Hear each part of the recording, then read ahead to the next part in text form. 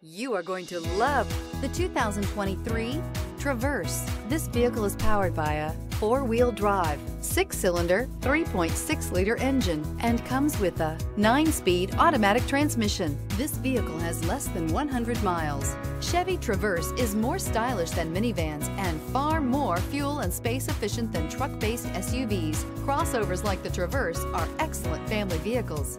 Is love at first sight really possible? Let us know when you stop in.